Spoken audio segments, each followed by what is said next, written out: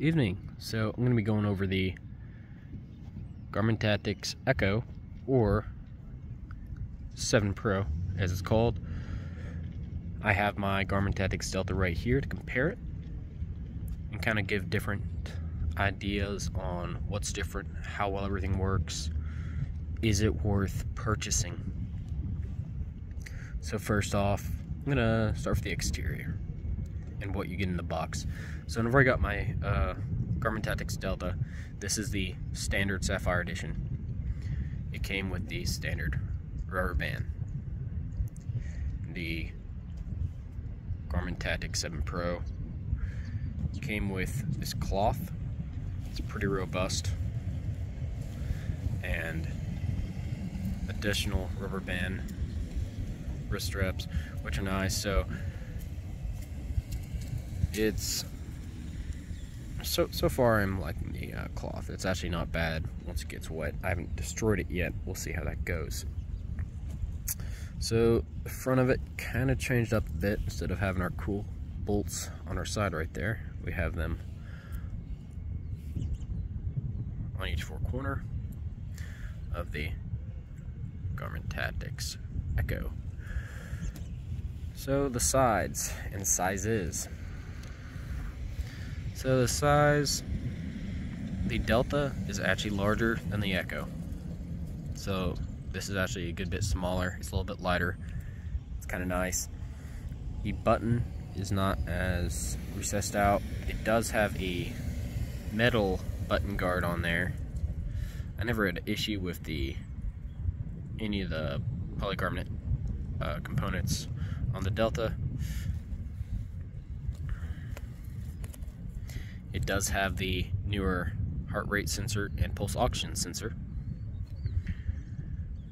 These straps are interchangeable still.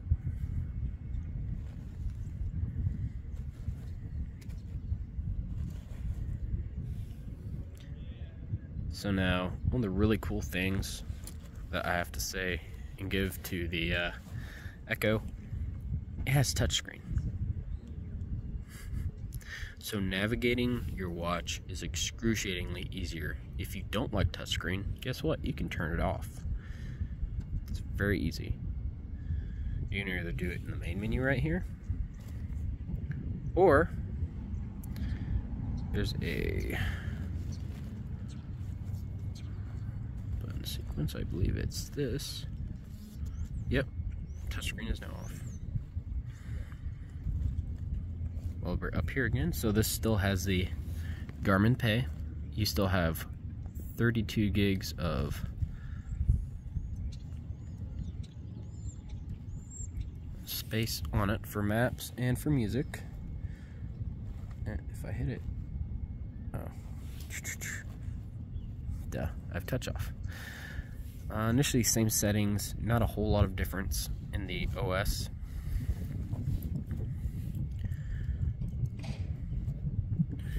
You this one does have solar so this is the solar model. This is the pro of the echo. So that's really nice. Um, seems to be working quite nicely. I haven't even been outside a whole lot today but this is a nice little idea of how well it works. You still have your standard menu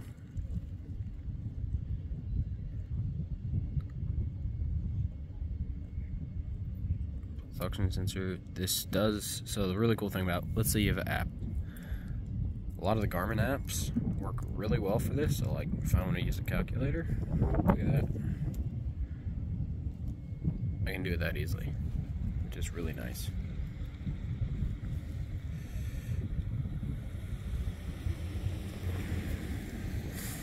Now there's a difference in speed of connection on both of these. Uh, the Echo can be substantially faster.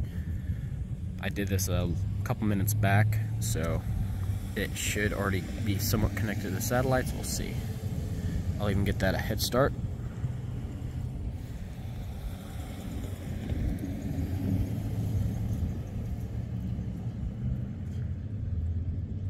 And as you see, the Delta's still going.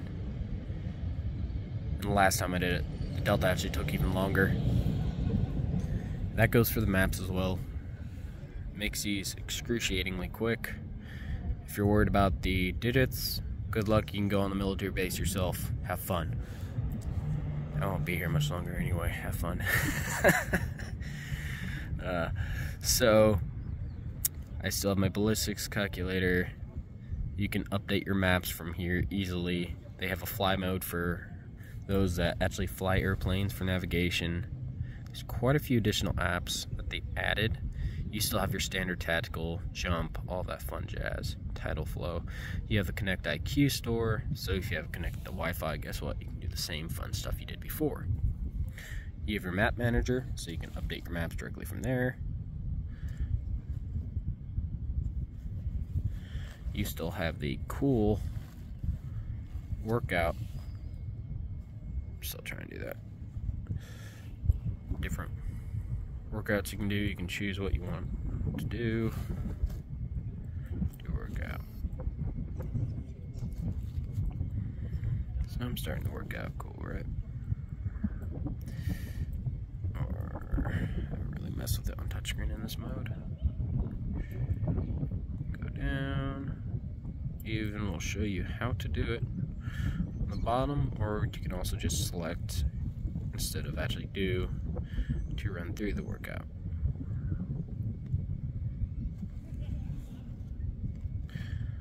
Pretty nice. It's nifty. I'm not to show the other part. There's always the hundreds of different modes you can do on here.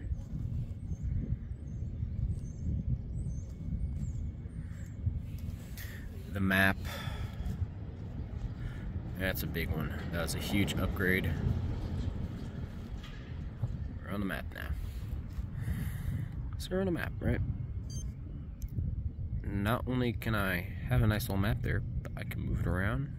It takes a second to load. This is not a computer. At least the fun type of computer. So you can move wherever you need very easily. You can use touchscreen to zoom in.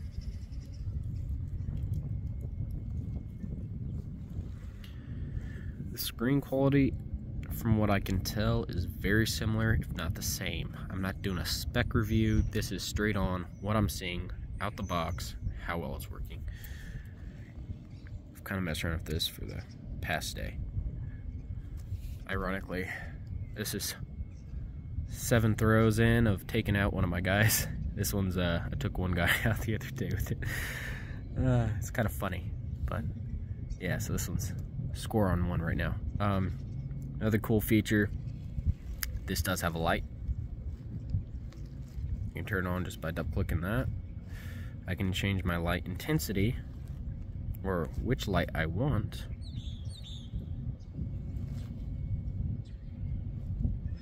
Selecting that, right now I have it set for green. This actually gets pretty bright.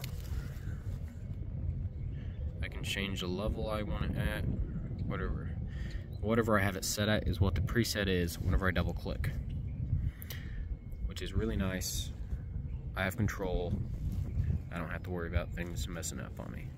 This obviously still has night vision capabilities. It has a kill switch. I actually have the key for that one. Kill switch. Same durability.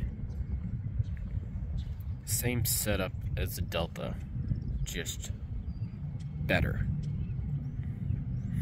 Now, I did hear some people were having issues with the actual software, where they had some type of software hardware issue. Uh, my unit does not have that issue, luckily. Don't know what that is, or if it's just an update type of thing, but I have heard of people, they'll get one out the box and it's like the screen's tweaking out or something. Not sure about that. You can probably look it up yourself. Uh, am I going to recommend this? Sure. If you have the extra money, you're willing to pay, I'll say this. If I had the solar Delta, I probably wouldn't have done it. I wanted something solar for where I'm going to be at. I'm going to be limited on power. And it's just the type of mission I'm doing. So, I really wanted something that's going to last a little bit longer. The battery life is better just across the board. On top of having that solar really cuts the camp on that. Really nice. That's pretty much it. Um, so far, pulse oxygen sensor, barometer, altimeter, All of it's pinpoint accurate, just like the Delta. Last one I did my flight over to this current base I'm at, um, it was pinpoint accurate because I asked the little pilots where our uh, altitude was. It was very, very accurate. I'm going to be doing that as I fly to Iraq. That's where I'll be going. And I'll get some nice info, videos, durability test, all kinds of fun stuff out there. I won't be able to post really, we'll not have signal. Uh, that's pretty much it. Uh, if you guys have any other questions on this watch, or even on the Delta, on any updates of that, what do I think about it? Is it still worth it?